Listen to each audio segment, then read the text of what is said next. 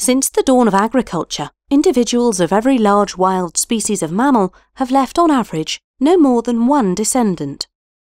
With a single exception, Homo sapiens, together of course with our domesticated livestock and pets.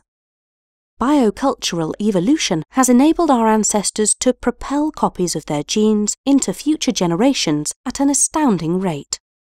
Agriculture and medicine are the main reasons why. But the rapidly escalating advances for these institutions have generated a moral dilemma for the 21st century. Their underlying missions are to facilitate as many healthy human lives as possible and lives that can last as long as possible. This leads inevitably to larger population sizes, which increases the strain on limited planetary resources. Living beyond Earth's available resource supplies and renewal rates harms the opportunity for future generations to enjoy long, healthy lives, and this is morally wrong. How then do we reconcile these two conflicting moral obligations? For as long as we've been able, we have assumed a global scale obligation to provide people in need with adequate food and enable them to live healthier into older age.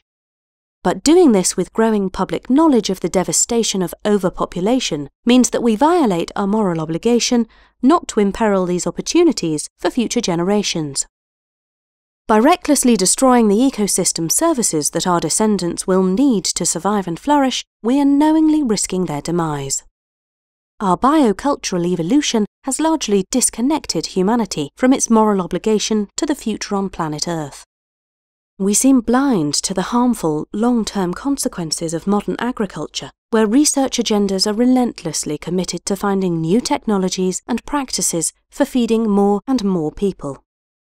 Similarly, the research agendas of modern medicine and healthcare are committed to finding new technologies, products, and practices that enable more and more people to live longer, healthy lives.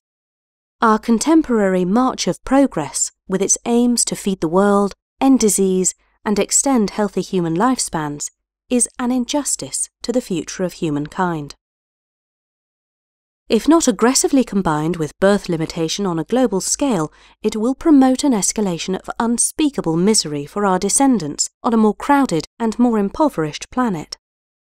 This moral dilemma is a consequence of our own evolved psychology. But with a deeper and more broadly public understanding of this, we will be better equipped for responding appropriately to our contemporary moral obligations in ways that can also deliver the restored and sustainable ecosystem services that future generations are entitled to.